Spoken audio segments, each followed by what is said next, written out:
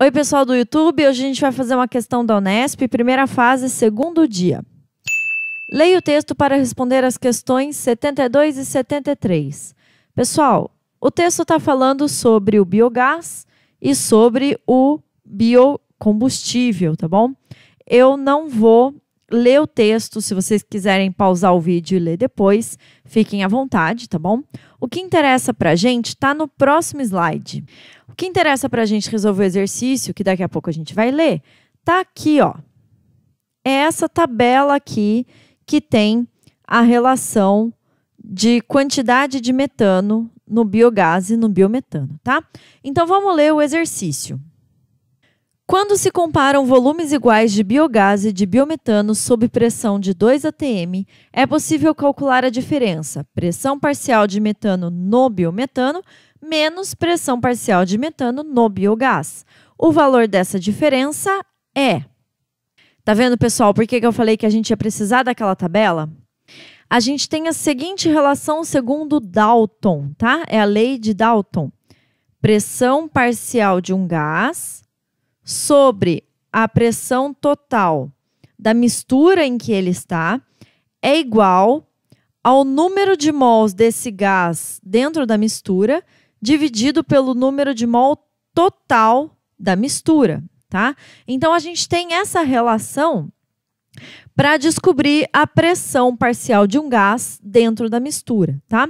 Essa pressão que ele dá aqui para gente de 2 atm é a pressão total da mistura.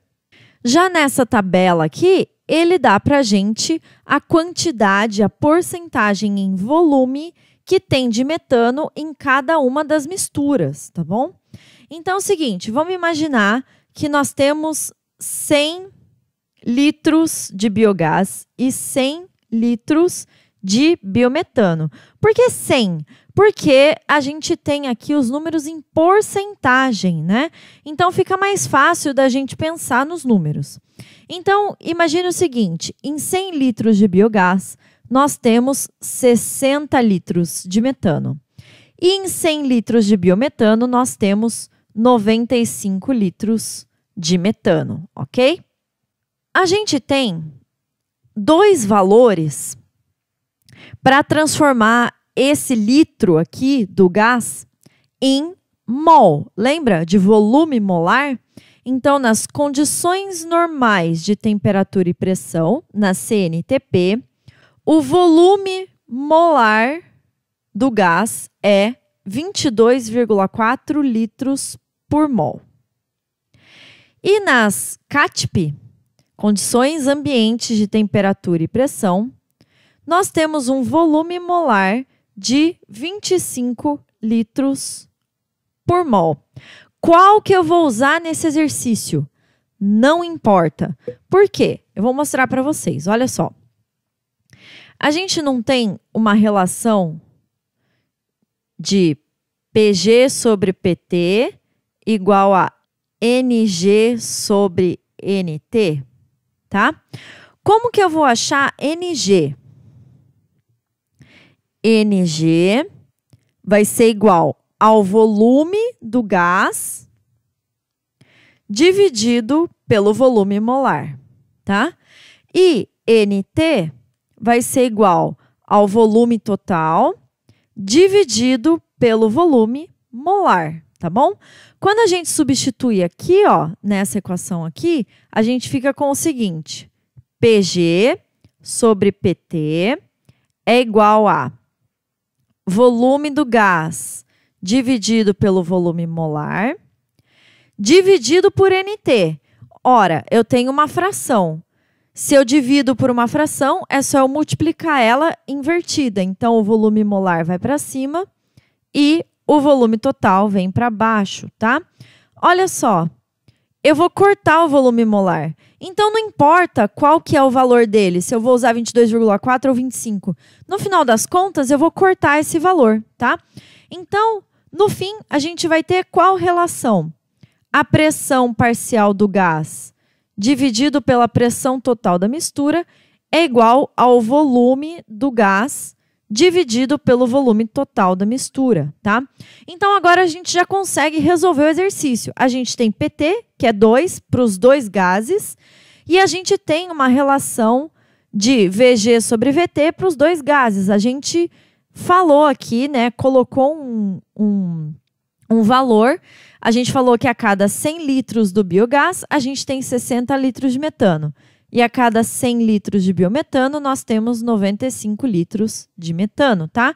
Por que, que eu afirmei isso? Por causa da porcentagem, 60%, tá bom? E no caso do biometano, 95%. Então, vamos resolver. Para o biogás, aqui, ó, BG, biogás, eu vou ter a pressão parcial do metano dividido pela pressão total, que é 2, igual ao volume do, do metano, que é 60, dividido pelo volume total, que é 100. Isso vai dar para a gente PM igual a 60 dividido por 100 vezes 2, né? Passei o 2 multiplicando lá. Corta esse zero com esse zero. Por 2 dá 5 por 2 dá 1. Então, eu vou ter aqui 6 sobre 5. E para o biometano, né?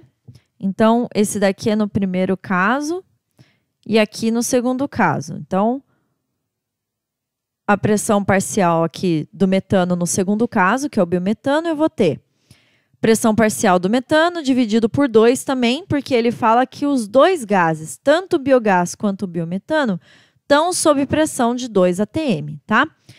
Só que agora eu tenho um volume maior de metano, tá? Então eu tenho 95 litros de metano para cada 100 litros de biometano. Minha pressão parcial do metano no segundo caso, então, vai ser igual a 95 dividido por 100 vezes 2. Aqui a gente faz o seguinte: 100 por 2 dá 50. Por 2 dá 1. Por 5 dá 10. Por 5 dá 19. Então, nós vamos ter aqui 19 dividido por 10. Como aqui é uma conta de menos, eu vou transformar isso daqui em número decimal para ficar mais fácil, tá? Então, 19 sobre 10 é 1,9. E 6 sobre 5 é 1,2, tá? Isso aqui em ATM e o outro também em ATM. Então, vamos ver aqui qual que é a diferença, né? Ele pede, então, do biometano menos a do biogás. Então, do biometano é 1,9 e a do biogás é 1,2. 1,9 menos 1,2 dá 0,7 ATM e a resposta é letra D. Gostou da resolução? Já deixa o curtir. Isso indica para o YouTube que esse vídeo deve ser mostrado para outras pessoas. Se você é novo aqui, já se inscreve no canal, ativa o sininho para ficar por dentro das novidades. E se tiver alguma dúvida, deixa nos comentários que a gente responde. Bons estudos e até a próxima!